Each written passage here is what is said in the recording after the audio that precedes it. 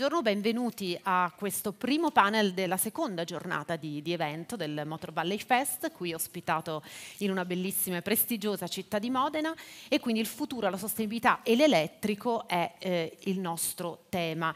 Nello specifico è un po' il tema della giornata perché poi ci saranno altre, altri temi di approfondimento, ma noi approfondiamo eh, dal punto di vista degli ESG e quindi degli obiettivi ESG sintetici e idrogeno. Eh, sapete che comunque non lo devo spiegare a voi che siete tutti esperti di questo settore, il settore dei trasporti, della mobilità sta vivendo chiaramente uno stravolgimento, tante opportunità che si aprono, opportunità ovviamente in, in, con l'obiettivo della decarbonizzazione, con un obiettivo che l'Europa ha dato e quindi è chiaro che chi fa parte della filiera industriale, produttiva, si deve in qualche modo adeguare ad aprire a nuovi scenari. La tecnologia per questo è fondamentale. Io mi occupo di tecnologia, di innovazione da diversi anni, eh, mi capita sempre di più di vedere documenti in cui eh, viene sottolineato il ruolo assolutamente centrale della tecnologia per innovare e per andare avanti e per progredire, ma sappiamo che per una decarbonizzazione, esattamente così come gli obiettivi del net zero al 2050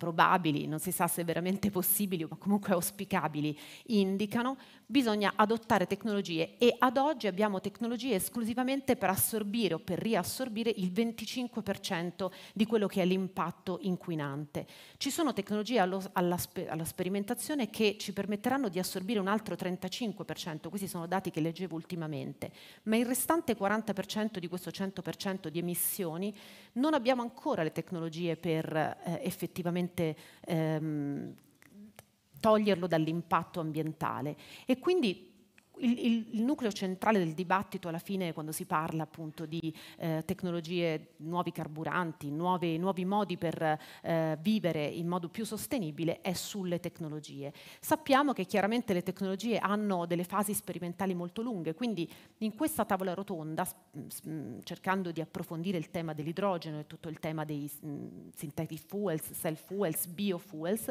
cercheremo di capire a che punto siamo, sia con la tecnologia e quindi la sperimentazione tecnologica, l'adozione di queste, di queste, tecnologie in fase poi anche eh, di utilizzo e di adozione e di applicazione, poi anche cercheremo di capire qual è il punto di vista dei nostri esperti, relatori che abbiamo ospitato in due momenti distinti di questa mattinata riguardo alla regolamentazione, all'impatto che mm, questo potrebbe avere sul mercato, quindi un impatto che la tecnologia chiaramente poi ha e che non si può non immaginare essere anche per alcuni aspetti traumatico, perché ci dobbiamo sempre sempre immaginare le questioni lavorative, le questioni produttive, le questioni industriali, non è così semplice cambiare e voltare pagina da un giorno all'altro. Allora, abbiamo due momenti di questa, di questa mattinata, uno è un fireplace talk, ovvero io lascerò che i relatori espongano il loro punto di vista anche essendosi preparati delle presentazioni e quindi lascerò che siano loro a parlare, poi abbiamo invece un momento con altri relatori che è più una discussione, una round table,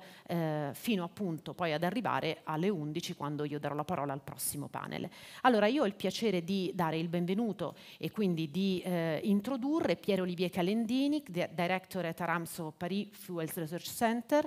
Benvenuto e buongiorno, prego. Così come ho il piacere di, di dare il benvenuto ad Alessandro Bartelloni, Fuels Europe Director. Benvenuto e buongiorno e anche ad Alessandro Viviani del Forum Ambrosetti. Benvenuto e buongiorno, prego.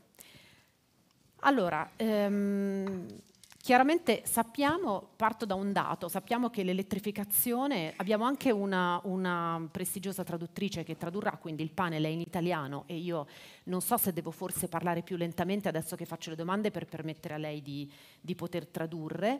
Ehm, l'elettrificazione non è, non è in, in, discussione, quindi partiamo dal dato che comunque l'elettrico, ecco sì, do il tempo al nostro primo relatore per mettersi l'auricolare. E, ehm, l'elettrificazione non è in discussione, abbiamo mh, mm, chiaramente il dato che in Europa l'elettrico in questo momento è molto favorito, anche se poi in fondo impatta sull'inquinamento eh, generale globale, siamo solamente noi in Europa che abbiamo questa attenzione verso l'elettrico dai dati per l'1%. Quindi diciamo che partiamo da, da questo mondo dell'elettrico che è da una parte, dall'altra ci sono tutte le tecnologie che possono inserirsi in questa varietà tecnologica per eh, un, un, cambiamento. E quindi la prima cosa che vorrei chiedere, diciamo così, lo stimolo che vorrei dare prima di dare la parola ai nostri, ai nostri relatori è mh, il punto di vista di ciascuno rispetto alla loro esperienza, rispetto ai loro contesti di, di appartenenza, in questo caso al Piero Olive Calendini come Aramco ehm, Research Center di Parigi e eh, sul, sulla soluzione dell'idrogeno come carburante alternativo e sui fuel cells, quindi comunque biofuels e synthetic fuel in ottica ESG, quindi nella, eh, nel proposito di essere più sostenibili nostra, nel nostro eh, blocco europeo. E poi quali sono chiaramente rispetto all'adozione di, eh, di questo tipo di soluzioni alternative chiaramente all'elettrico, che quindi si pongono da un'altra parte rispetto all'elettrico, quali sono sempre in chiave di sostenibilità le sfide e le opportunità. E per sfide intendo anche le sfide normative, le sfide di applicazione, le sfide di regolamentazione dell'adozione di queste nuove tecnologie. Quindi le passo, I give you the clicker, thank you very much, and lascio la parola a Piero Olivier okay. Carendini. So first, thank you to uh, for this uh, discussion and to, uh, uh, for the invitation to participate to this very interesting discussion. I think we, we, need to explain a little bit what is synthetic fuel because it's, it's a broader concept. Hydrogen is part of the synthetic fuel or could be part of the synthetic fuel family. ammonia also, methanol, and what we call also drop-in fuel that most of people know about synthetic fuel is a fuel that you can use directly into existing car. So drop-in fuel, so to mimic uh, today hydrocarbon uh, fossil fuel. So I have prepared some slides just to, yes. to be sure that everyone uh, uh have the, uh, the background about uh, what is synthetic fuel, and after I will go deeper to answer to your question. So maybe a very short video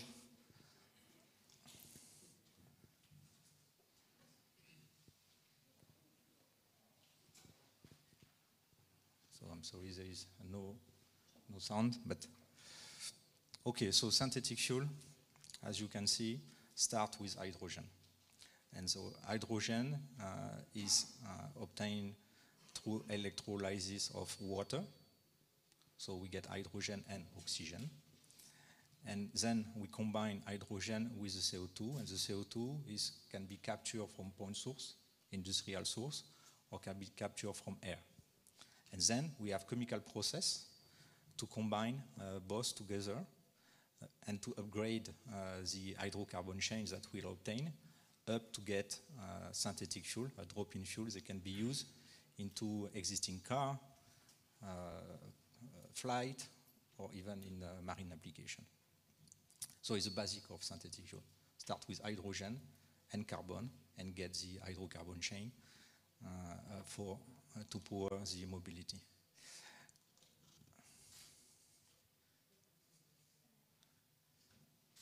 Yeah, maybe if you can launch. Grazie. Okay. There, there is another slide. Uh, we summarize all the different routes to get uh, such a fuel. So you have a lot of different process depending about uh, the, the fuels that you, you want to, to get at the end of the day. There is not an unified process. So you need, uh, since the beginning, to know what is the fuel that you are targeting. Hydrogen, ammonia, methanol, gasoline, diesel, jet fuel. And then for, thank you. If you can put in a large screen. Uh, so then for each of them, you have a different process, and it means you, you need a different production plant, and you need uh, different investment. Well, you, it's very fast.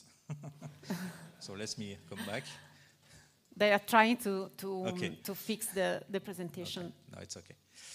Uh, uh, so each uh, route uh, require uh, a large investment.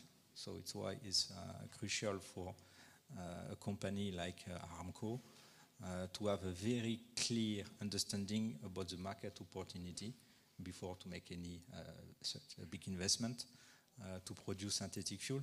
We are speaking just to give you an order of magnitude, huh, but for a small production plant, uh, something like about 35,000 barrels per day. So just to give you an idea, in Europe, the biggest refinery are producing about 300,000 barrels per day. So 10 times what I am explaining now. So for a small uh, production plant like this, the investment is really between uh, 2 and uh, 5 billion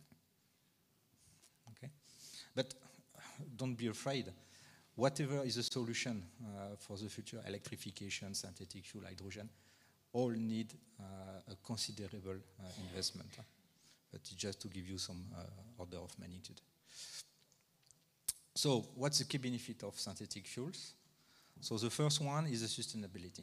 So, it's already well documented by a lot of different institutes and laboratories and companies that with synthetic fuel you are able to reduce the greenhouse gas emission of uh, existing uh, vehicle by minimum 70%, which is uh, the regulation is asking for, and, uh, and somewhere for synthetic fuel between 90 and 92, 93% was a presentation a few weeks ago at Vienna uh, with Konkawi, where we speak about 90, 93% uh, greenhouse gas reduction. So you, you see, uh, we, we are going to very low uh, uh, greenhouse gas emission, and so at, at the point that we are comfortable to call this kind of climate neutral fuel. Of course, there remain uh, some uh, CO2 emission, a very uh, small one, like any solution, including a battery electric vehicle, but we are very low compared to what is today fossil fuel. The second point is the compatibility. I think is uh, the, the, main uh, big benefit of synthetic fuel. So you can use this with existing uh, infrastructure. So you don't need to make huge investments. We take a long time on the supply chain. And you can use an existing road vehicle. So you can decarbonize the car you are driving today. The third point is the complementarity. So uh, synthetic fuel can be blended with uh, fossil fuel, can be blended with biofuel. So there is already solution, co still compatible with existing vehicle. So you can add uh, all this together uh, uh to the uh, journey of the decarbonization. Uh, and with electrification, it's also another way. and you can combine both together with an hybrid car, for example. And the last point also is very important is the scalability. Because synthetic fuel have virtually no limit. So it's important to uh, uh, explain a little bit here. Uh, here is the, uh, a map about uh, the potential of renewable energy globally. Okay, it's uh, all publication now from 2017 from IRENA. And you can see the, the large potential is about nearly 12 exajoules per year. Mostly solar, the big yellow part, uh, followed by geothermal. The beauty of geothermal is, uh, is almost constant. Uh, wind and uh, hydro and, and ocean. Today, the world energy consumption is about 600 exajoules. So you see the gap. 600 is what the world is consuming today, and the uh, renewable potential is about 12,000. So there is uh, an excess on unuse of renewable energy worldwide. Now the challenge is how you capture this energy and how you supply this energy. So when you look how this is distributed over the world, you can see that there is some area we have a very large uh, potential, like Africa, Middle East, Australia. And unfortunately, it doesn't match the area where we are using uh, or where we are using today energy because it's Europe, China, tomorrow India, US. So it's a region where the potential is low compared to the other one. And then the challenge is how to capture this energy and to transfer this energy.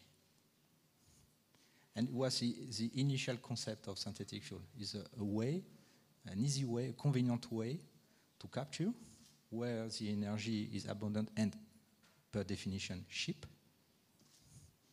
to store and to transfer because today the uh, supply chain infrastructure for liquid hydrocarbon is already there.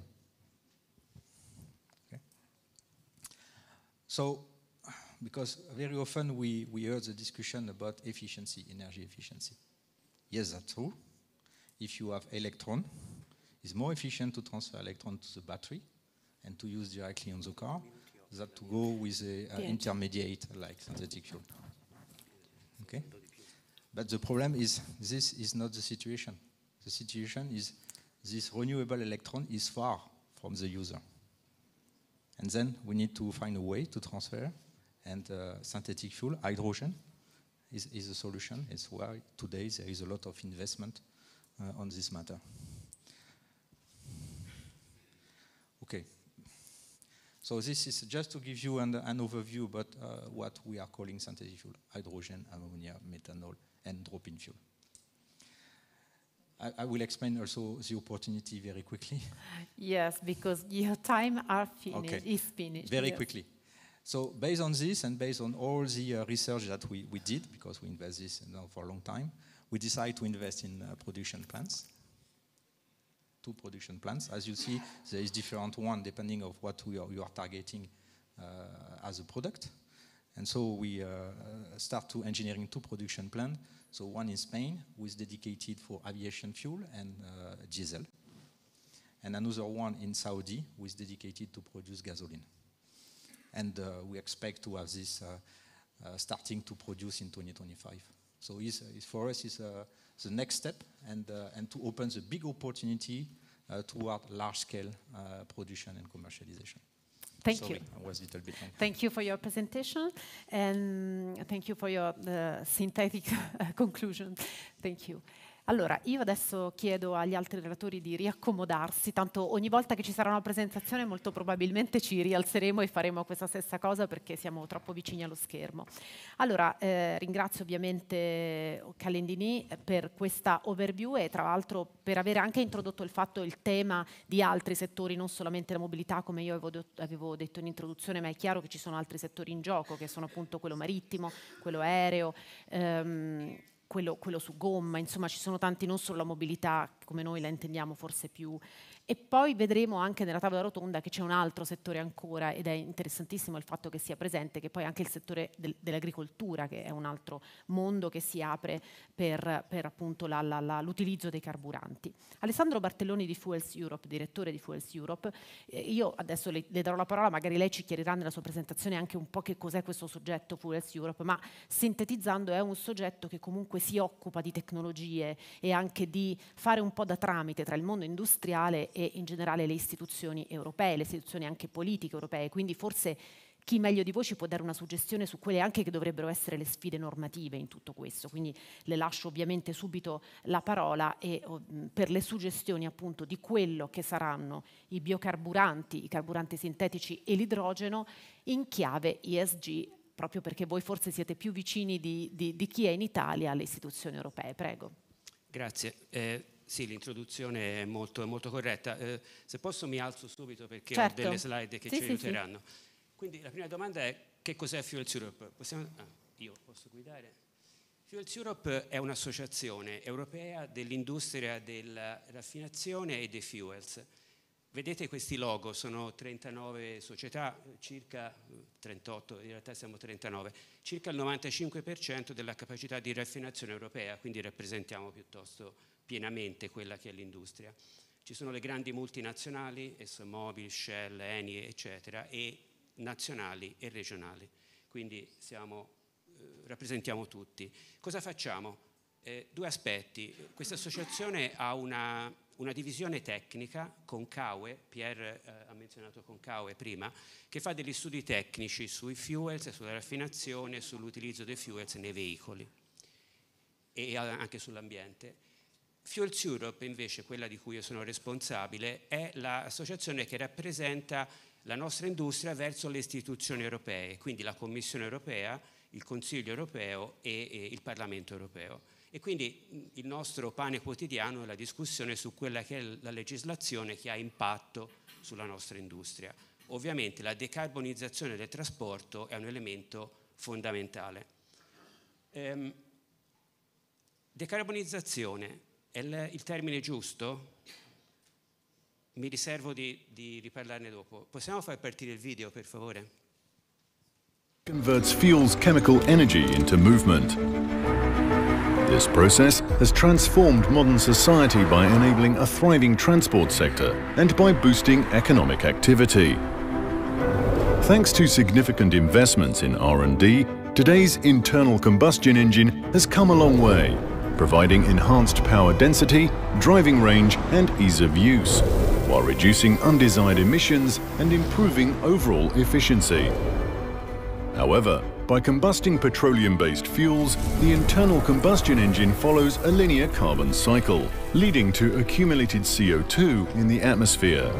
But what if I told you that by embracing low-carbon liquid fuels, we can keep the benefits of the internal combustion engine without any impact on climate, simply by closing the carbon cycle thanks to the use of recycled carbon. The CO2 released at the tailpipe by these low-carbon liquid fuels has no impact on climate because these fuels use circular carbon, either biogenic or captured directly from the air. And beyond these benefits for climate, importantly, these fuels are compatible with current internal combustion engine technologies and existing infrastructure. Powered with low-carbon liquid fuels, the internal combustion engine also complements the electrification of vehicles, including hybridization and plug-in hybrids, enabling zero emission regardless of the driving mode used. Despite great progress, the internal combustion engine has yet to meet its full potential. Paired with low-carbon liquid fuels and electrification, it could contribute to decarbonising both existing and new vehicles, enabling everyone to contributing to climate neutrality and will support Europe in its leadership in strategic clean technologies.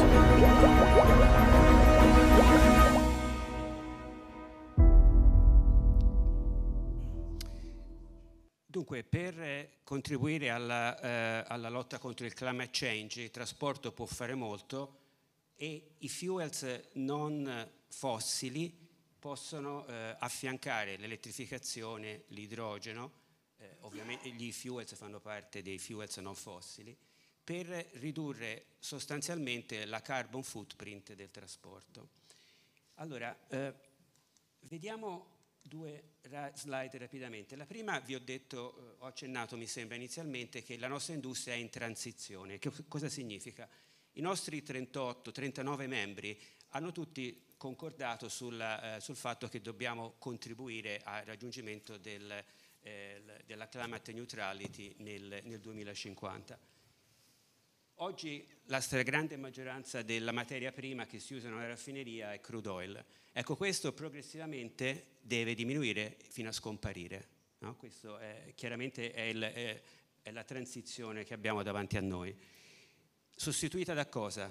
Da biomassa sostenibile, quindi non in competizione con il food, da CO2 riciclata, assorbita dall'atmosfera, e da waste, che anche questa è una risorsa molto importante per il futuro. La raffineria stessa va adattata, servono investimenti, ma tutto quello che sta a valle può rimanere com'è, perché gli oleodotti che trasportano i fossil fuels possono trasportare i non fossil fuels liquidi nello stesso modo. La stazione di servizio è la stessa, i, i terminali, i depositi sono gli stessi, anche il collegamento con il petrolchimico è lo stesso. Quindi immaginate che risparmio di investimenti in infrastrutture che abbiamo rispetto ad altre soluzioni. Pensiamo all'elettrico, cosa occorre, no? che ovviamente deve avvenire, voglio essere chiaro, non siamo contro l'elettrico, i nostri membri investono nell'elettrico, ma non può essere l'unica soluzione.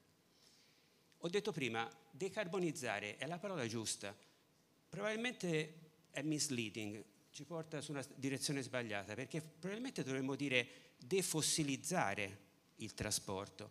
La molecola di carbonio eh, combinata con l'idrogeno, quindi l'idrocarburo, è il modo migliore che la natura conosce per immagazzinare energia per trasportarla.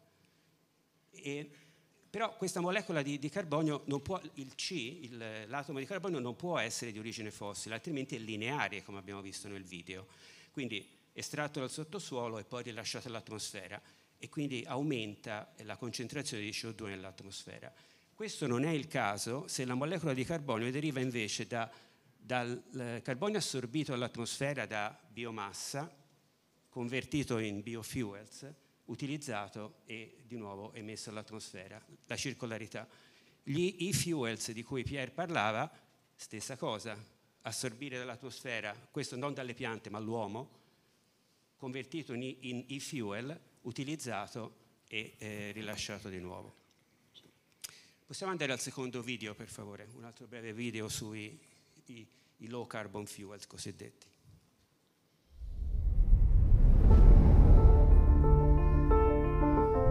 EU citizens demand more options in the transition to climate neutral mobility. What if banana peels, plastic waste, and CO2 sucked from the air could be part of the solution? Together with electrification and hydrogen. Low carbon liquid fuels, also known as refuels, are produced from waste, sustainable biomass, renewables, and captured CO2, which can be used by all in every transport mode. These sustainable liquid fuels from non-petroleum origin emit no or very limited additional CO2 during their production and use. Thanks to their unrivaled energy density, low-carbon liquid fuels are essential in aviation, maritime, heavy-duty and a share of light-duty transport. In these sectors, either alternatives will take longer to be deployed, or specific vehicle uses and social considerations make it more difficult to shift to a different engine technology. Low carbon liquid fuels have the advantage of being compatible with existing and new vehicles and distribution facilities. You can keep driving your car, make it climate neutral, and feel good about it. These sustainably produced fuels are climate neutral because the CO2 they emit in the atmosphere is circular. It is the same CO2 that was absorbed by plants or captured directly from the air or other emission sources. Using these fuels will smooth the deployment cost of electric energy distribution and reduce time pressure of achieving complete fleet turnover. First blended with conventional fuels, they will progressively replace fossil-based fuels, providing consumers with accessible and affordable clean mobility choices, especially when compared to alternative technologies. Low-carbon liquid fuels are already on the market, but they have yet to be deployed in multiple plants across Europe to deliver these fuels at scale. Only then can low-carbon liquid fuels achieve the dual purpose of contributing to enabling European maritime, air and road transport to become climate neutral by 2050 and consolidating Europe's industrial leadership and jobs in innovative decarbonisation technologies. con questo concluderei, penso il tempo sia esaurito. Eh, Però qual è il ruolo della legislazione europea? Questo è molto importante. La legislazione europea in questo momento non favorisce gli investimenti nei fuel non fossili. Perché? Beh, c'è una, una, legislazione che riguarda i veicoli che eh, impone un, un limite eh, nel tempo, nel 2035, di zero eh, emissioni di CO2 per chilometro. Questo poiché è misurata al, al, tubo di scappamento, una tailpipe regulation, come, come, diciamo, ovviamente esclude, bandisce la tecnologia dell'internal combustion engine. Ecco, noi non pensiamo che questo sia corretto perché in un approccio eh, più eh, olistico dovremmo tener conto di tutte le emissioni del ciclo. Tenendo conto di tutte le emissioni del ciclo si vede che un'auto, specialmente se ibrida, che utilizza solamente carburanti non fossili, compete in molti casi è, molt, è meno eh, carbon intensive di un'auto elettrica. Quindi questa è una cosa che la legislazione attuale non consente. Il dibattito è ancora aperto, mm, siamo impegnati su questo, gli Stati membri stanno svegliandosi al, al pericolo che questo comporta per l'industria, per il consumatore e per l'economia. Devo dire che l'Italia è in prima linea su questo però è, è una, una, cosa che è essenziale da ottenere per consentire agli investitori di vedere un ritorno nei loro investimenti, convertire, convertire una raffineria in una bioraffineria. Concluderei qua, perfetto, spero di poter sì, dire sì. di più nel panel. Assolutamente, grazie, grazie anche a, um, ad Alessandro Bartelloni di Fuels Europe e allora lascio la parola invece ad Alessandro Viviani degli European House Ambrosetti perché eh, Ambrosetti è, ecco, abbiamo, abbiamo, un po' chiamato in causa la politica, le istituzioni, il mondo industriale, voi siete con Ambrosetti un, un grande osservatorio nel nostro paese, se non altro il forum di Cernobbio comunque è un grande punto di snodo di quelli che sono i temi della contemporaneità, dell'attualità, la criticità anche. avete questo confronto, cioè promuovete questo confronto con la politica che è fondamentale, l'abbiamo sentito adesso, ci sono dei temi che sono sul tavolo ma che di fatto non sono ancora risolti, l'Europa impone delle cose da questo punto di vista. Tra l'altro voi vi siete focalizzati con l'Innotech, l'Innotech Community, perché voi avete all'interno degli European House Ambrosetti una community che si occupa di nuove tecnologie, di, eh, quindi approfondisce, studia, emette dei report, dei paper e uno in particolare vi siete, vi siete focalizzati su uno studio sull'idrogeno. Quindi un po' era per capire anche da questo studio che cosa stava emergendo, ma poi avete svolto un altro studio per un'importante azienda eh, italiana, si può, forse la posso citare, Eni, esatto, la posso citare, che è stato presentato al forum di Cernobbio e questo invece è uno studio sulla neutralità tecnologica, che è un altro dei temi di cui forse sentiremo parlare anche nella tavola rotonda di discussione. Però lascio ad Alessandro Viviani la parola per illustrarci e poi ovviamente concludiamo questo primo Fireplace Talk. Prego. Grazie molte, buongiorno a tutti. In realtà i colleghi, speaker che mi hanno preceduto mi hanno dato un lancio molto buono su questo tema. Eh, permettetemi di fare un passo indietro, non entrerò in ulteriori dettagli tecnici, il minimo possibile, però quello che vorrei fare è un po' un ragionamento sui principi che dovrebbero guidare, le policy anche che guidano poi quella che è l'attuazione dei processi di decarbonizzazione. Concordo con Alessandro, io utilizzo il termine carbon neutral, climate neutral Um, dicevi benissimo all'inizio, tecnologia e innovazione sono i nostri principali alleati e in questo senso le policy dovrebbero permettere al mercato il più possibile agli operatori industriali, agli ingegneri, a chi effettivamente eh, risolve eh, tematiche di natura tecnologica di sperimentare, di utilizzare tutte le tecnologie eh, a noi eh, disponibili. Eh, utilizzo un proverbio cinese non importa il colore del gatto purché prenda il topo, per cui non importa quale tecnologia utilizzo, l'unico metro di misura che dovremmo avere è quanta CO2 riesco eh, a ridurre. Questo sia nel definire quali sono le politiche, sia poi anche nelle, di, nelle policy di, eh, incentivo. Noi abbiamo approfondito questo argomento, come ben dicevi, in un rapporto che abbiamo svolto eh, per Eni l'anno scorso, coinvolgendo tutta una serie di eh, stakeholder a livello internazionale, eh, sia a livello accademico che a livello industriale, a livello di policy, in cui sostanzialmente abbiamo voluto sostenere con forza quello che è la necessità del contributo sinergico e sistemico di tutte le tecnologie. Inizialmente dicevi, eh, l'elettrico, non siamo qui per dire che è una scelta sbagliata, eh, ecco che però l'elettrico va efficacemente complementato e messo in sinergia con tutta un'altra serie di tecnologie. Decarbonizzare eh, il settore navale non è come decarbonizzare il settore aereo, non è come decarbonizzare un'acciaieria, non è come decarbonizzare un'auto su strada o un mezzo speciale. Ognuno ha delle specificità che vanno attenzionate e per cui in qualche modo dobbiamo assicurarci che le policy permettano all'industria di eh, svolgere questa, questa attività.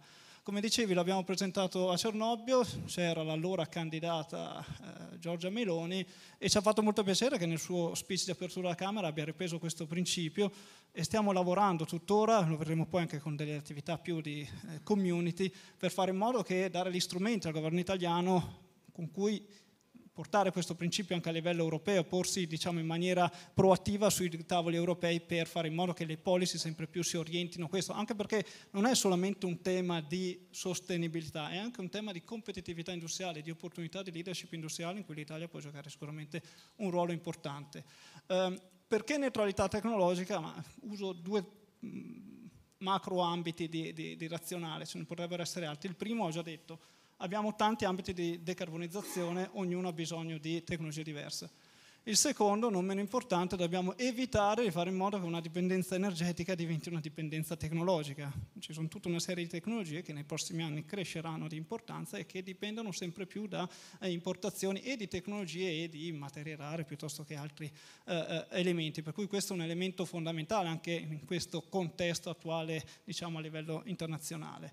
Um, abbiamo definito in maniera molto alta quello che dovrebbe essere in qualche modo un framework di ragionamento per definire una policy di decarbonizzazione. Vado veramente per ragionamenti semplici, però al di là dell'efficienza energetica noi l'energia primaria la possiamo avere principalmente eh, in due modi, non considerando il nucleare, o rinnovabili e bioenergie, quindi quello che ci arriva principalmente dal sole, o fossil fuel con carbon capture. Questo è un tema che dovremmo sempre più avere come attenzione, come bridge verso un mondo completamente rinnovabile, ma è sicuramente qualcosa che ci consente di accelerare il processo di decarbonizzazione e fare leva su asset eh, esistenti. Una volta ottenuta energia, eh, dobbiamo, come si diceva prima, essere in grado di trasportarla, metterla a disposizione. Ecco che oltre all'elettrificazione abbiamo disponibilità di biofuels e biomethane, idrogeno, fuel sintetici. Un elemento qua in verde, permettetemi una parola, compensazione delle emissioni. Non tutti i settori potranno essere decarbonizzati, in alcuni dobbiamo metterci in condizione di poter compensare. Questo è un qualcosa che in tante industrie, non da ultimo il settore dell'aviation, è un tema all'ordine del giorno su come fare. Anche qui le policy dovrebbero riuscire a permetterlo meglio.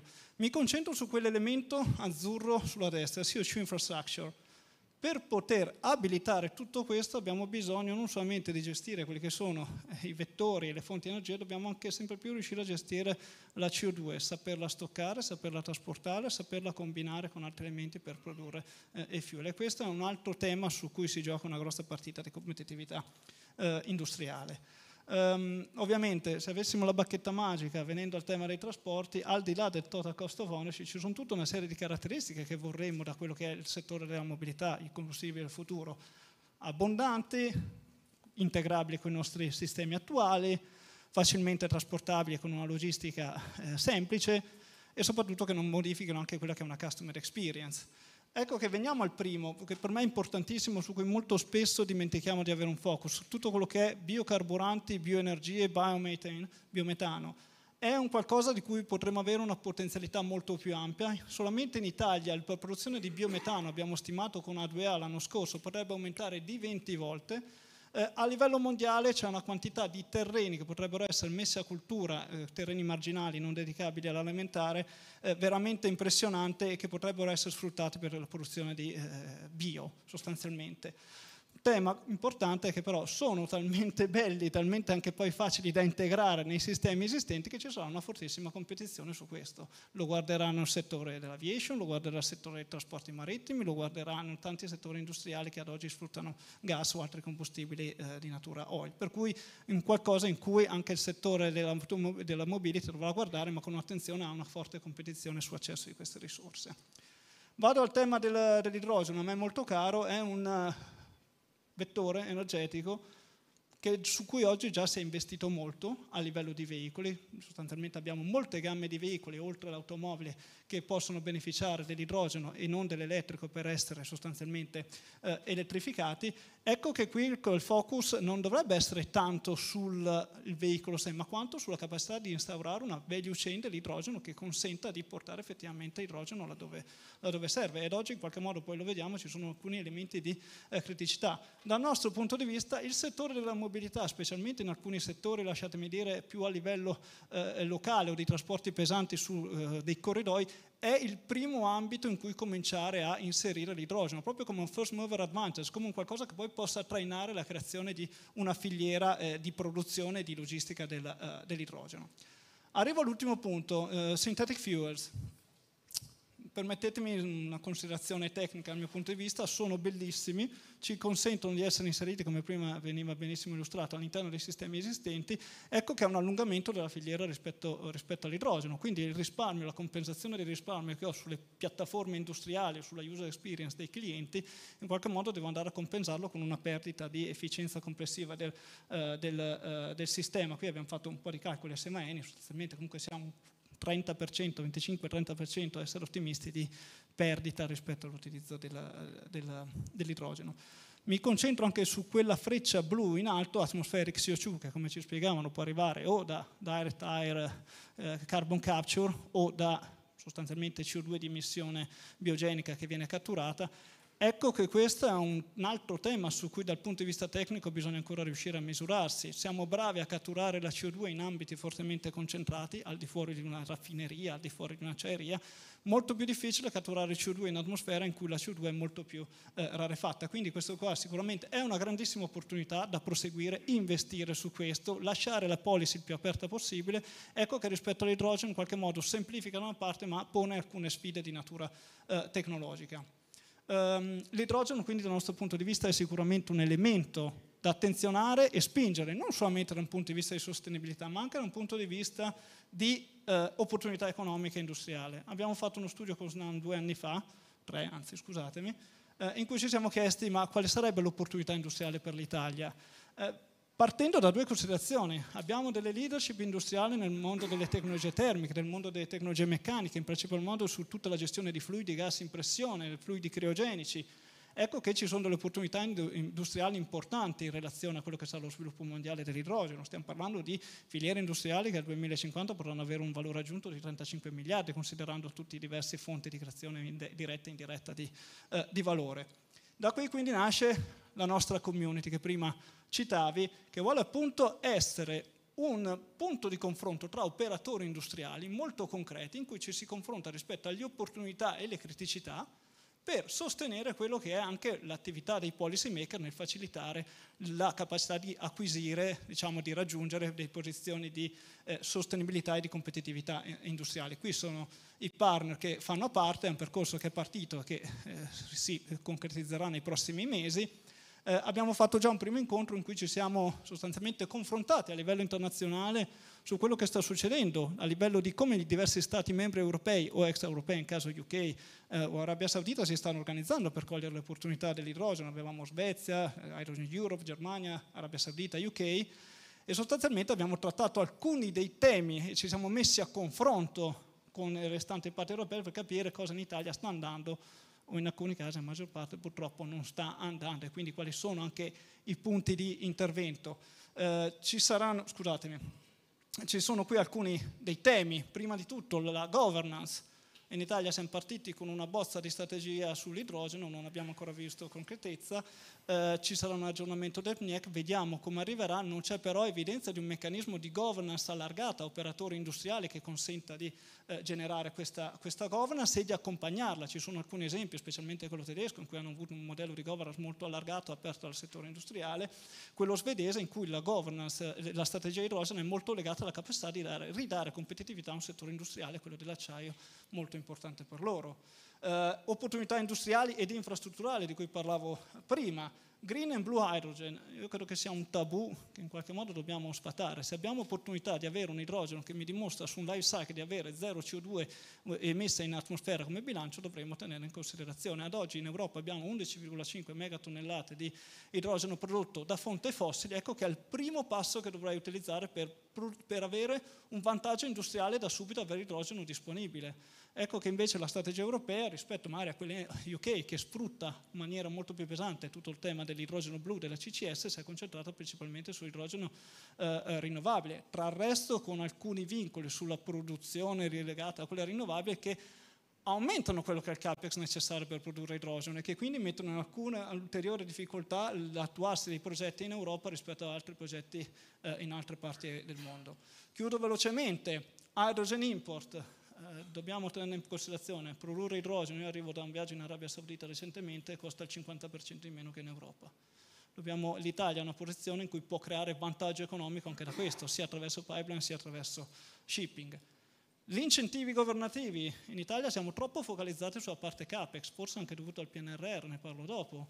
Ecco che però dobbiamo spostare in qualche modo il focus verso la parte OPEX per consentire a chi poi è la domanda di idrogeno di andare a sostituire in maniera conveniente un combustibile eh, eh, tradizionale, dobbiamo sempre più spostarci. Questo, come dicevo, il PNRR lo ritengo in qualche modo inadeguato, uno perché accelera troppo alcuni investimenti, abbiamo visto adesso la chiusura di alcuni dei bandi, sono stati fatti probabilmente troppo alla svelta, è molto incentrato sulla parte CAPEX, dimentica un po' gli elementi legati all'OPEX. Dicevo il tema dei talenti, ultimi due temi, Dobbiamo, se vogliamo fare in modo che lo Stato, il governo in qualche modo incentivi sia anche un traino nei confronti dell'idrogeno in alcuni settori, in primis quello della mobilità, deve anche un po' modificare le proprie regole di procurement. Eh, acquistare un autobus a idrogeno o una spazzatrice a idrogeno non è lo stesso che acquistare un eh, mezzo eh, tradizionale. E infine tutti i temi legati all'armonizzazione delle regole legate alla sicurezza e all'omologazione. Questi sono alcuni dei temi che sono emersi, continueremo a discuterne. Il 22 giugno saremo a Trento parlando di collaborazione tra mondo industriale e mondo della ricerca e appunto Hydrogen and Transport as a First Mover Advantage. Proseguiremo con i tavoli di lavoro arrivando a giugno in cui ci confronteremo col Ministro rispetto alle proposte che vorremmo emettere. Grazie. Ho preso troppo tempo. No, erano tutte cose molto interessanti, anzi ti ringrazio perché sicuramente hai dato degli spunti poi per la successiva tavola rotonda. Io ringrazio i nostri primi tre relatori, Piero Olivier Calendini, direttore appunto del Fuel Research Center di Aramco Spari, e poi Alessandro Bartelloni di Fuels Europe e Alessandro Viviani di The European Osa Ambrosetti. Grazie moltissimo per questi spunti molto interessanti. Grazie. E allora a questo punto andiamo avanti nella tavola rotonda e quindi io mi riprendo il clicker, eccomi qua, e eh, do il benvenuto e quindi mh, chiedo appunto di sedere sui posti che abbiamo previsto, tanto a questo punto non ci sono più slide. Pierpaolo Antonioli, CTO di Punch, benvenuto e buongiorno. Cristiano Musi, CEO di Landi Renzo, benvenuto e buongiorno. Vittorio Dini, Powertrain Director di Ferrari, buongiorno, benvenuto. Filippo Rigoni, Vice President Business Development Zero, buongiorno. E Alessandro Zilli, responsabile Alternative Fuels New Holland, Italia e Grecia, buongiorno. Allora, i tempi sono sempre più serrati, però giustamente le cose interessanti hanno bisogno di tempo, io lo dico, quindi ho detto sia una cosa che l'organizzazione mi ha chiesto di dire, sia un'altra che è il mio pensiero. Dunque, ehm, io inizierei da Punch. Eccoli, eccoci qua, esatto. Abbiate pazienza, non vi conosco tutti bene, cioè ogni tanto, poi mi, mi uso LinkedIn di solito, però è piccolo, l'icona di LinkedIn non è detto che poi dal vivo, esatto, mettiamo delle foto grandi su LinkedIn. Allora, Punch attraverso Punch Torino, che è la sua diciamo, core company, il gruppo, quindi che, che, è la core company del gruppo Punch, eh, guida l'ingegnerizzazione, così come appunto viene descritto, di eh, sistemi di propulsione e soluzioni di controllo innovativi. Allora io inizio da voi perché vi voglio chiedere, anche un po' in base a quello che abbiamo sentito, è chiaro che se avessi più tempo chiederei a ognuno di voi cosa ne pensate di quello che abbiamo sentito perché sono tutti stati stimoli interessantissimi.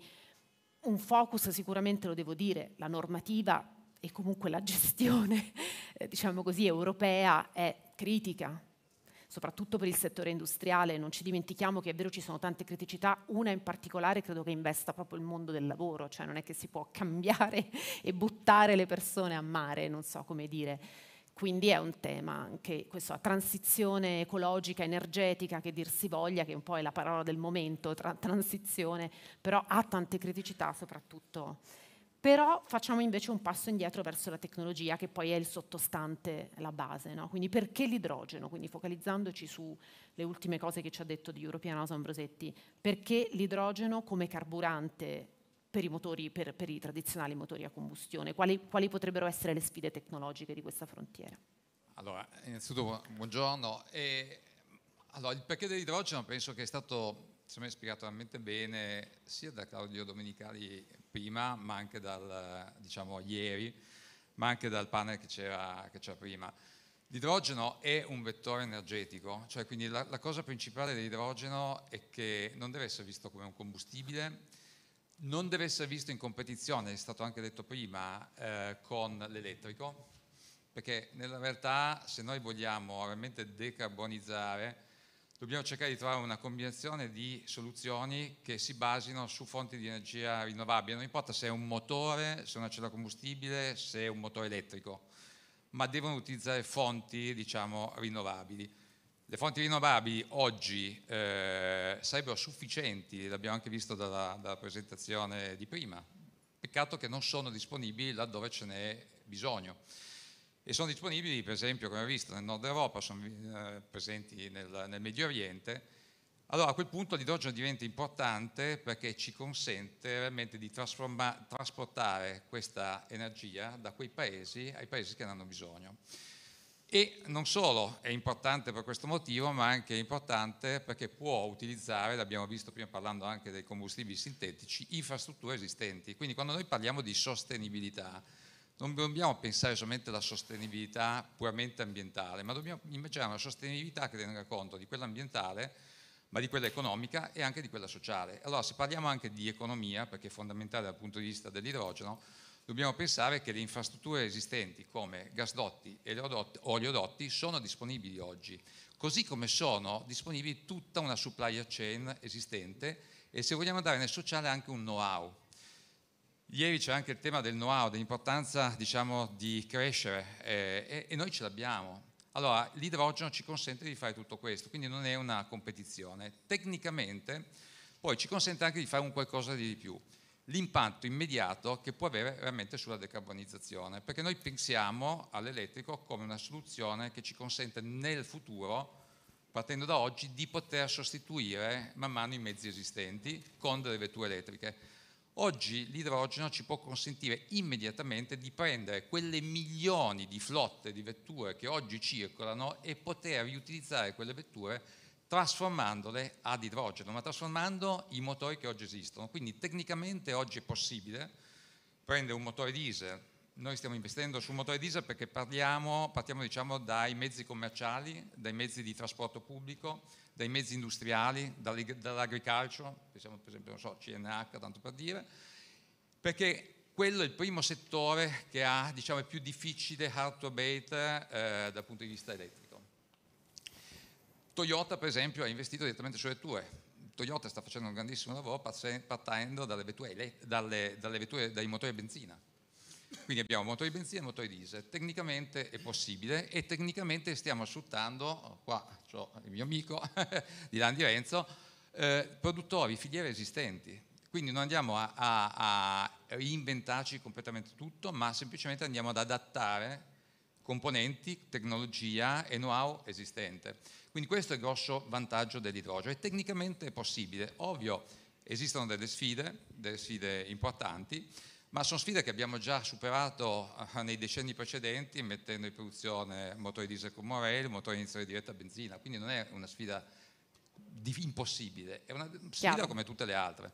Allora, Landi Renzo, proprio perché oltre ad essere amico di Antonioli è anche, diciamo così, per logica la, la, seconda, la, seconda, persona alla quale appunto mi viene di chiedere quali sono tra le soluzioni appunto che abbiamo, che abbiamo approfondito anche nella prima parte, soprattutto in riferimento all'idrogeno, eh, quali sono le soluzioni che hanno più senso secondo lei in ottica di decarbonizzazione o come appunto ci ha indicato Fuels Europe, non, non decarbonizzazione ma un po' l'economia circolare dei carburanti in qualche modo, no?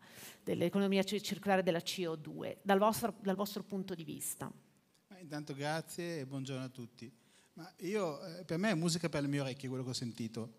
Eh, con Pierpaolo penso che sia la terza volta che veniamo al Motor Valley Festival eh, ed è sempre un grande piacere. E tre anni fa noi parlavamo, entrambi mi ricordo, parlavamo di neutralità tecnologica e parlavamo di life cycle. Eh, tre, quattro anni fa eh, tutti ci davano morti. Landi Renzo fa gas. Noi dicevamo c'è un futuro per l'idrogeno, il gas non è solamente il gas da fonti fossili, ma è anche il biometano. E il biometano ha un grande vantaggio perché recupera CO2 che altrimenti verrebbe messo in atmosfera e di conseguenza alcune applicazioni biometano addirittura negli Stati Uniti vengono considerate carbon negative. Eh, noi crediamo molto nello sviluppo di queste due tecnologie, ma continuiamo a credere molto nella neutralità tecnologica e nel life cycle come principio base. Per cui crediamo anche che ci sarà sviluppo dell'elettrico, però io chiederei ai nostri parlamentari europei, quando parlano di elettrico al 2035, che questo elettrico venga prodotto solamente da fonti rinnovabili. Perché poi si parla di green hydrogen. Premesso che io sono d'accordissimo che il grande potenziale sta anche nel blue hydrogen, con la carbon capture, se parliamo di battery electric vehicle, allora con lo stesso principio dobbiamo produrre solamente energia elettrica rinnovabile. E questo forse è, è, è impossibile. Allora, secondo me, ripeto, eh, noi crediamo tanto nell'idrogeno, crediamo tanto nel biometano, ma crediamo tanto che l'unico modo per decarbonizzare sia e per rendere il nostro, diciamo, il mondo del, de, dei motori on-road e off-road, perché non dimentichiamoci i generatori, il marino, l'agricoltura, che sono importantissimi, bisogna perseguire questa strategia di neutralità tecnologica e guardare lungo tutta la catena del valore.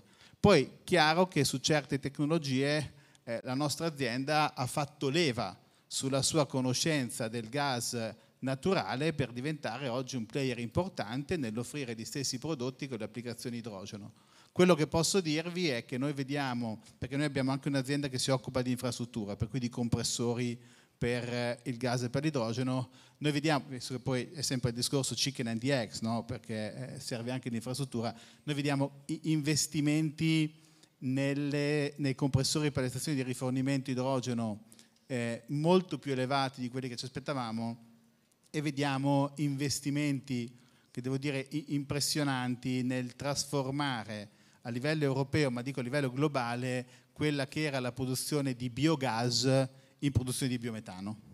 Eh, per cui due trend che si collegano molto a quello che ho sentito prima. Grazie. Io faccio un attimo un'inversione di, di, relatori. Volevo sentire Ferrari, però volevo continuare il discorso sull'agricoltura e poi passo a lei. Alessandro Zilli rappresenta il responsabile di Alternative Fuels di New Holland, Italia e Grecia. Magari, ecco, io penso che molti sappiano che cosa fa New Holland, ma proprio perché voi vi occupate di trattori e quindi comunque il settore agricolo. Cerchiamo di inquadrare quali sono le criticità di questo settore, prima ancora di, di, di dirci dal vostro punto di vista quale può essere per voi l'ideale di, di, adozione di un mix di tecnologie nel, nel prossimo futuro per sostenere il, il, settore che comunque subirà una trasformazione, una transizione anch'esso. Innanzitutto buongiorno a tutti e grazie del, dell'invito.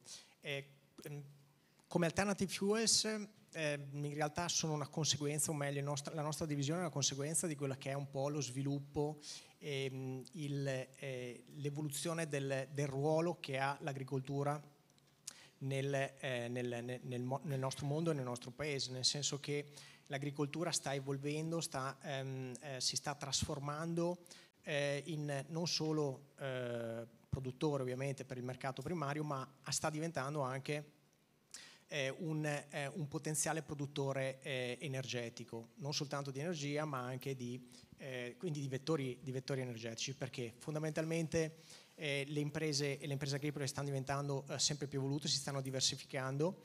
Eh, nel 2008 abbiamo visto ehm, l'ingresso del, del, biogas, quindi dell'elettricità, della produzione elettrica. Oggi stiamo vedendo una trasformazione in un'ottica di circolarità all'interno del mondo, del mondo agricolo.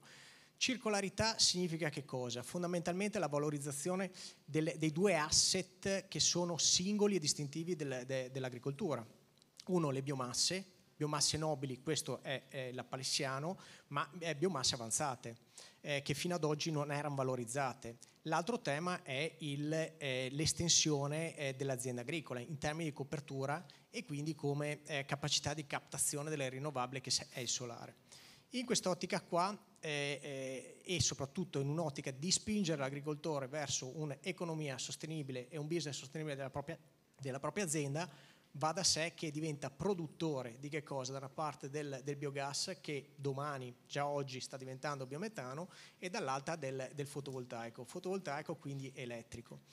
Ovvio che eh, quindi quello che è la nostra eh, roadmap di eh, evoluzione di prodotto segue quello che sarà lo sviluppo e accompagnerà quello che sarà lo sviluppo del, dell'agricoltura.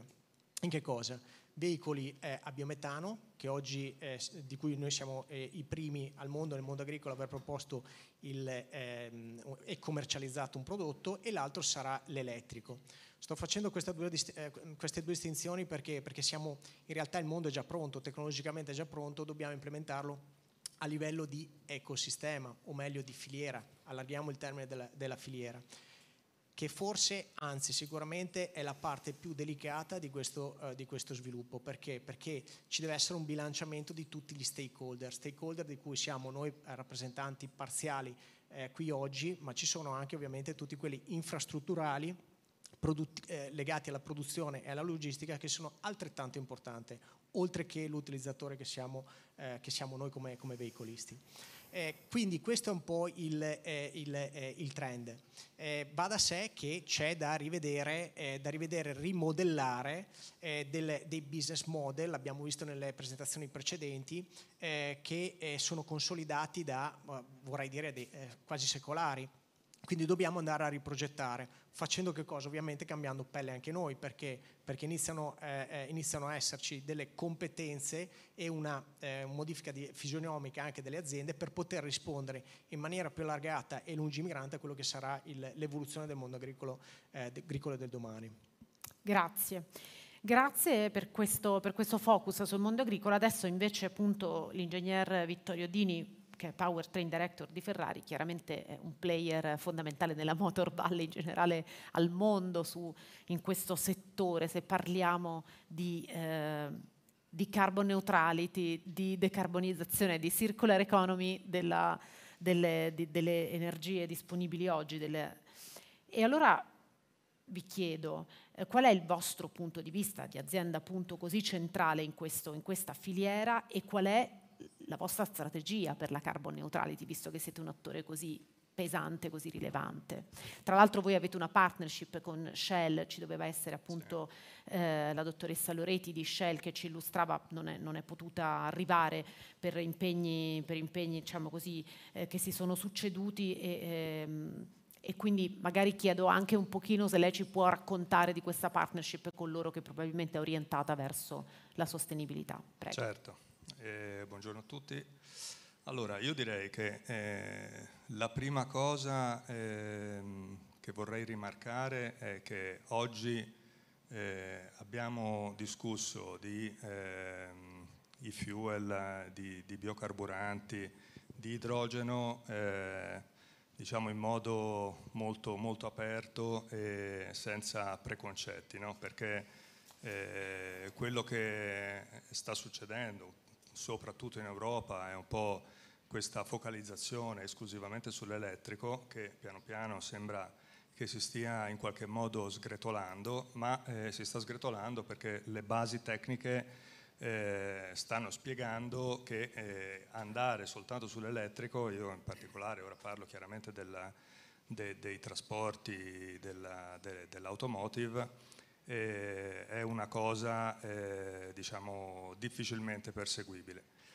E quindi penso che questa, eh, mettere in evidenza queste difficoltà possa eh, permettere ai nostri governi di, eh, di stabilire normative eh, che permettano appunto anche alla, a idrogeno e a, a benzine diciamo, sostenibili di avere un ruolo nella decarbonizzazione del futuro. Allora noi come Ferrari in generale ovviamente siamo come eh, tutte le grandi aziende orientate a, a ridurre il, il, nostro impatto.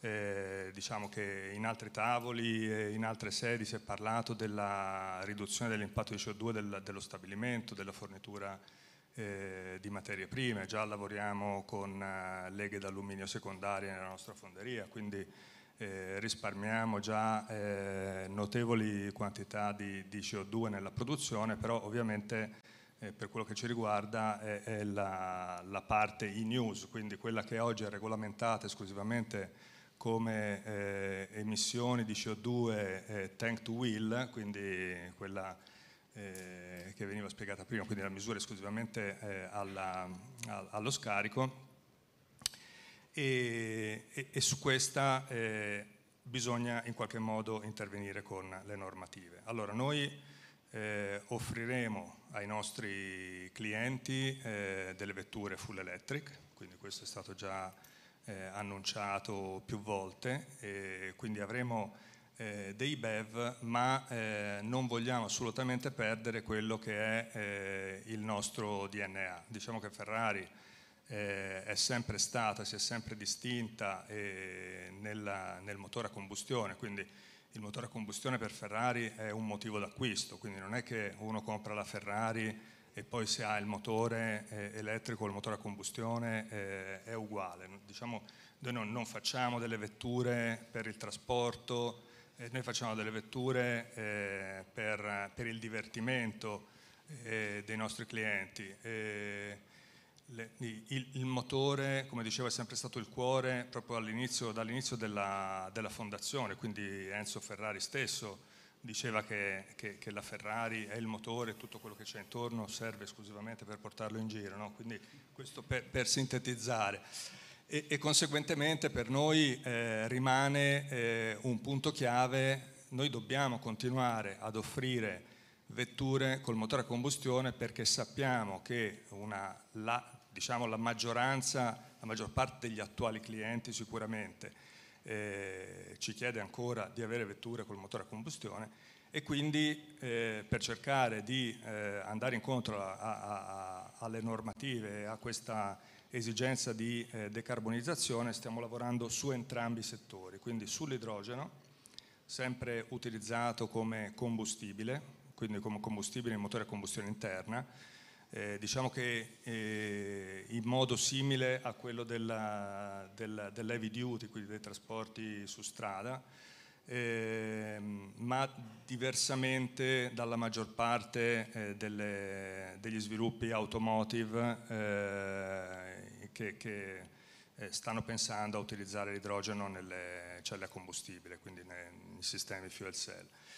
Eh, il sistema fuel cell è sicuramente eh, interessante, ma per quello che ci riguarda, eh, una volta che abbiamo smarcato eh, l'idrogeno come, eh, diciamo, come, elemento disponibile eh, nelle, nelle, infrastrutture di rifornimento, per noi mantenere il motore a combustione ovviamente è fondamentale. Quindi stiamo lavorando su motore a idrogeno. Il motore a idrogeno che sembra semplice, trasformare un motore benzina a idrogeno, però se lo vogliamo fare ad alte prestazioni ha le sue difficoltà perché abbiamo bisogno di eh, diciamo, di valori molto vicini allo stechiometrico per quello che riguarda la combustione dell'idrogeno e, e, sappiamo che eh, l'idrogeno essendo un, un combustibile eh, che ha una, una grossa eh, diciamo, eh, accendibilità, quindi una, una velocità di, di, combustione altissima, eh, presenta alcuni problemi che noi eh, nei nostri sviluppi a, abbiamo già visto e che stiamo iniziando ad affrontare. È ovvio che il motore a combustione a idrogeno è diciamo, agli albori del suo sviluppo, quindi ha bisogno da un punto di vista tecnologico di molti anni per poter essere, per poter essere competitivo. Quindi e vi state orientando noi, sull'elettrico? Noi no, quindi allora, l'elettrico è un, una proposta che dobbiamo fare, ma perché? Perché diciamo, eh, ci aspettiamo che ci possano essere nuovi eh, clienti che vogliono sono interessati a quello. Elettrica. Certo. Dall'altra parte però abbiamo ancora il nostro heritage, quindi i, i clienti diciamo, eh, tradizionali attuali e anche che in futuro possono essere comunque appassionati di, di motore a combustione che quindi certo. vorrebbero eh, il motore a combustione. Quindi noi stiamo ipotizzando una, una disponibilità per il, per il, cliente sia di vetture elettriche che di vetture a combustione, che siano solo combustione o ibride, diciamo questo qui è, è, è in definizione, ma, ma, nel senso che è già così, oggi, già oggi l'SF90, la, la 296 sono vetture eh, ibride plug-in che hanno un notevole successo eh, sul mercato, ma n- non solo, diciamo forse non tanto, per la riduzione delle emissioni, ma soprattutto per l'incremento di prestazioni che l'elettrificazione ci ha permesso. Quindi noi vogliamo continuare eh, diciamo a lungo termine eh, a, a, a, lavorare sull'idrogeno e nel frattempo stiamo comunque eh, già testando eh, delle benzine, eh, siano esse diciamo, i fuel vere e proprie o eh, derivate da, da biocomponenti eh, che stiamo appunto testando proprio con Shell. Ora, eh, lei aveva citato eh, Shell prima, allora, quello, quello, con Shell è un rapporto diciamo, pluridecennale che ha la Ferrari e quindi è, è il nostro partner. Partito per... dalla Formula 1. Sì, sì, praticamente è partito con la Formula 1, attuale partner della Formula 1 e proprio la Formula 1 è ehm, diciamo il, il, il, banco di prova eh, della, della, fattibilità di questi combustibili e della performance che possono fare, perché già dal 2026 il regolamento di Formula 1 prevede eh, di utilizzare eh, carburanti sostenibili e, e, diciamo che la competizione eh, tra i diversi eh, team di motoristi eh, sarà anche la competizione tra i diversi produttori eh, di benzine eh, diciamo eh, sustainable. E quindi Shell sta già lavorando in modo attivo sullo sviluppo delle benzine per il nuovo regolamento di Formula 1 del 2026. Insieme a questo e quello che stiamo facendo è eh, provare eh, delle benzine che non saranno quelle di Formula 1 perché diciamo, la Formula 1 ha de, dei regolamenti un po' diversi da quelle che sono le normative per l'utilizzo normale, però derivato da questo banco di prova ci sono dei componenti che possono essere usati e noi stiamo usando già oggi delle benzine internamente di sviluppo per eh, verificarne le prestazioni, per verificarne eh, la producibilità e la possibilità di utilizzarle in attività che siano motorsport o in futuro anche proprio di eh, eventualmente utilizzo in fabbrica per sviluppare i motori, deliberare i motori ed eventualmente per fare il, il, first fill, quindi il primo riempimento di tutte le vetture che, fa, che, che, che produrremo, anche qui per un'altra volta per, per ridurre l'impatto della Ferrari sulla CO2. I clienti i clienti appassionati di motore a combustione ci stanno già chiedendo, ma io quando dopo il 2035 che cosa faccio? teoricamente non posso più usare la mia macchina, dove la trovo la benzina? Voi ce la potete dare della benzina e noi chiaramente anche dietro questa, questa spinta eh, cerchiamo di eh, collaborare con Shell e cerchiamo di trovare delle soluzioni che ci permettano di sviluppare una benzina che è esattamente intercambiabile, quindi di tipo drop-in, eh, per permettere anche eh, ai nostri clienti di, di, continuare a utilizzare le loro vetture, che non dimentichiamoci, la maggior parte eh, dei nostri clienti sono poi collezionisti, hanno collezioni di vetture con molte macchine, con un altissimo valore e quindi la possibilità Chiaro. di rendergli disponibili, diciamo, eh, ad eternum, se vogliamo. No, nulla è eterno, poi magari no, cambierà qualcos'altro eterno, dopo 50 anni. Ma però per certo, ora la Ferrari, diciamo che... la Ferrari è eterna, ecco, forse l'unica cosa eterna è la Ferrari. Grazie, grazie, grazie. Vi chiederò poi una battuta finale ehm, subito dopo aver sentito Rigoni, ma mi sono presa un po' più di tempo con lei perché un po' ha sostituito anche, ha fatto le veci anche della dottoressa Loreti di Shell. Allora, ehm, Zero è una nuova eh, società di investimento, possiamo dire fondata da Marco Alverà, penso che tutti sappiano eh, le, diciamo, il già amministratore delegato di SNAM, e, e focalizzata sulle energie green. Che cosa fate voi? Create delle partnership per rendere diciamo così, le tecnologie in qualche modo eh, abili poi a scalare in un certo qual modo. Quindi siete un po' un, una specie di, di, venture capital, adesso ce lo, spiegate, ce lo spiegate bene. Quello che dal vostro osservatorio ci potete dire è a che punto siamo con tutte le proposte di tecnologie focalizzate sull'idrogeno, chiaramente poi se ovviamente voi vi occupate anche di tutto il settore, e poi voi quali sono le vostre aspettative per, per, il, prossimo, per il prossimo futuro rispetto al contesto in cui operate?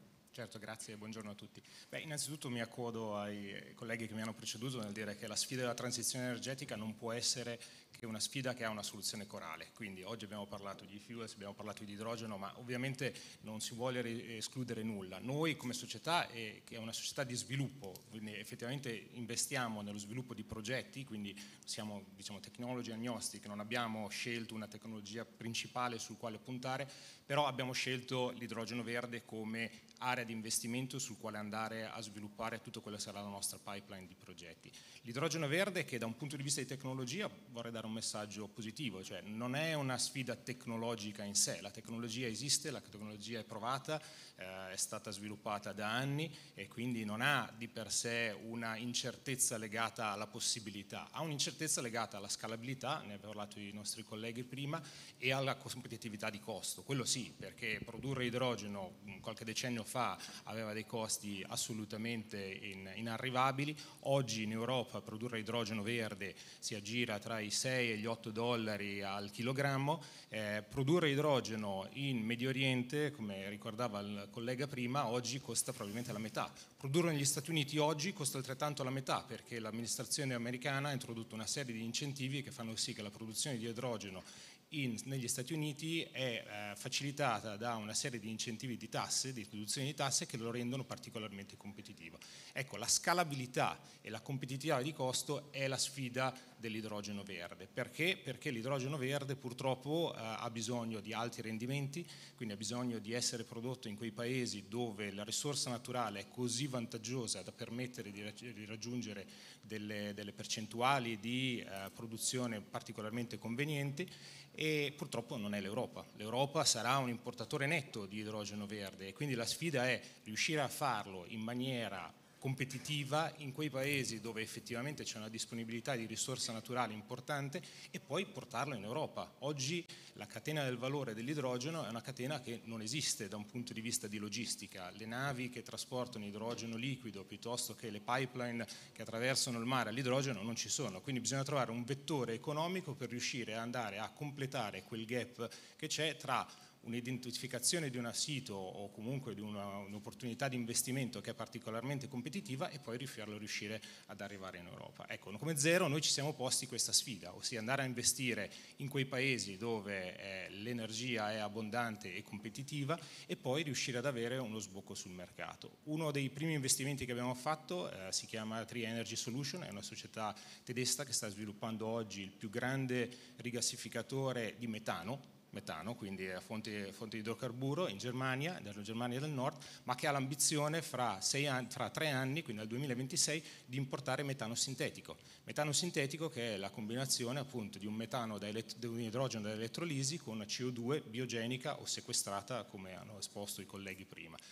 Ecco, quello è un prodotto, è un e-fuel, perché nasce da una base elettrica attraverso la, l'elettrolisi, che potenzialmente può essere immediatamente utilizzato da quella che oggi è una catena assolutamente approvata, quella del metano. Può essere liquefatto come metano naturale, può essere trasportato con le navi, eh, i carrier LNG, così come lo è il metano, e può essere di nuovo, una volta ricevuto nel terminale di rigassificazione, o separato e quindi ulteriormente portato allo stato di idrogeno e utilizzato in quelle catene produttive che utilizzano direttamente l'idrogeno, oppure alternativamente utilizzato come metano sintetico in alternativa al metano. Ovvio deve essere competitivo, quindi ha bisogno che l'elemento e tutta la catena del valore per produrlo sia competitiva. E oggi per produrre idrogeno in maniera competitiva serve una risorsa naturale competitiva perché circa il 70% del costo della produzione di un idrogeno verde oggi è sulla risorsa naturale, quindi quello è l'elemento.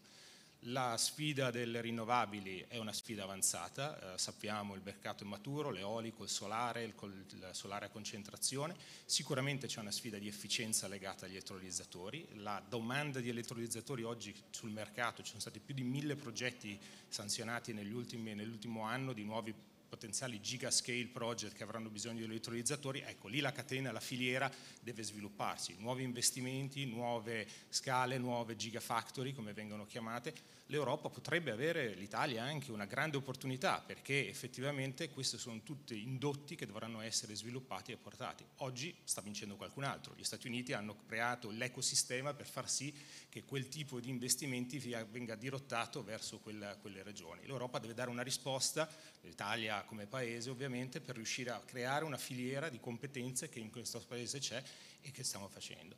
Noi come progetti stiamo puntando su aree come il Nord Africa, eh, come il Sudafrica, la Namibia, eh, gli Stati Uniti, abbiamo dei progetti che sono in fase di valutazione che hanno, per darvi una, una, un riferimento, potenzialmente una produzione rinnovabile che parla di 3-4 gigawatt di rinnovabile a monte per produrre poi circa un 2 gigawatt di, elettrolizzazione. Questi ecco, sono progetti che arriveranno nei prossimi 3-4 anni, noi abbiamo l'intenzione di prendere eh, una decisione di investimento per almeno 5 gigawatt di investimento al 2026 è una parte di quello che potrebbe essere la domanda enorme di una nuova fonte energetica a livello europeo. Eh, sicuramente ci saranno altri player che si stanno muovendo in maniera analoga alla nostra, che hanno scelto altre tecnologie o altre direttrici. Come dicevo all'inizio, non è una risposta singola, va fatta una risposta corale, lo spazio enorme, la capacità di investimenti e la potenzialità di, di attrarre investimenti di questo settore enorme, una grande opportunità che in questo momento va cavalcata. Allora, abbiamo 3-4 minuti e dobbiamo concludere, però vorrei farvi un, così, una battuta veloce da parte di ciascuno di voi. Ehm, sinceramente, cioè è vero, siamo in un evento, ci sono delle persone, però secondo me su questi temi bisogna essere crudeli, crudi, realistici, sinceri. Facciamo un po', rubiamo per un attimo il mestiere a Bartelloni che si confronta con eh, gli organismi europei, le istituzioni, ha questo diciamo, ruolo anche difficile sicuramente, in bocca al lupo a Bartelloni perché in questo momento non è semplice.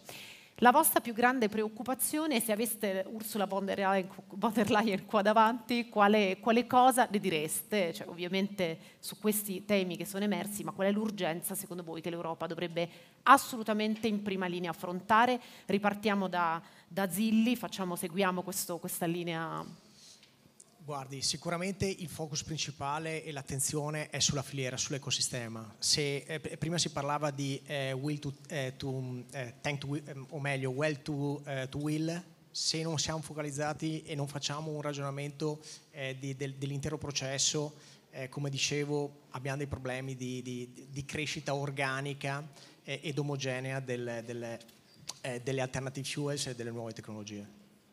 Dini, Ferrari.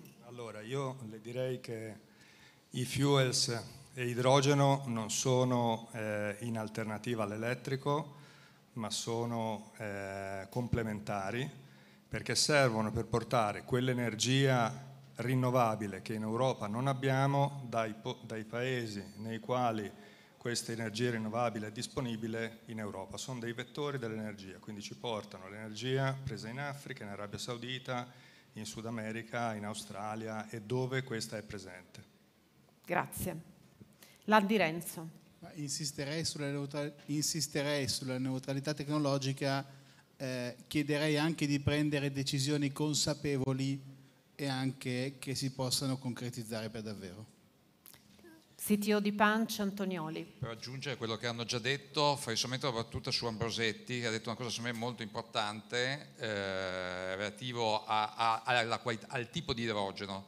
Noi puntiamo sull'idrogeno verde qua in Europa, io vi posso dire, sono stato a un summit importantissimo in Cina, dove la Cina sta investendo billion su billion su billion sullo sviluppo di idrogeno e per favorire la domanda cosa fa? Parte dall'idrogeno super grigio, non parte dall'idrogeno verde perché prima crea l'infrastruttura facile e veloce, senza andare sulle rinnovabili, in modo da fare lo sviluppo della tecnologia e della domanda e a quel punto lì è un piano di convertirlo in idrogeno verde, ma dopo. E quindi secondo me un bilanciamento e un approccio un pochino più strategico dal punto di vista europeo sarebbe quello che ci vuole, se vogliamo veramente andare poi alla fine a favorire questo tipo di decarbonizzazione. Chiaro. Zilli di zero diciamo certezza in quella che è la normativa e nella visione a lungo termine, nel senso che oggi eh, l'Europa ha adottato una serie di atti delegated che fanno, danno l'implementazione di quella che è la normativa principale, ma lo sta facendo con una, diciamo, una tempistica abbastanza diluita nel tempo che crea incertezza in sé. Quindi riuscire ad avere una visione chiara, immediata, dà la certezza poi per portare avanti degli investimenti e creare appunto una filiera circostante che può essere utile non soltanto per l'Europa in sé, ma anche per le file, singole filiere nazionali. Grazie. Io ringrazio tutti quanti voi, Pierpaolo Antonioli. Eh, sì, prego, prego, siamo veramente in chiusura.